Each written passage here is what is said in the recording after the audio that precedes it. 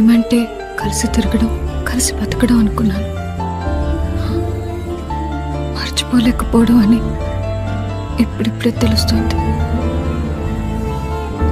పదే పదే తనే గుర్తుకొస్తుంటే ఊపిరి పీల్చుకోవడానికి కూడా ఇబ్బందిగా ఉంది నాకు.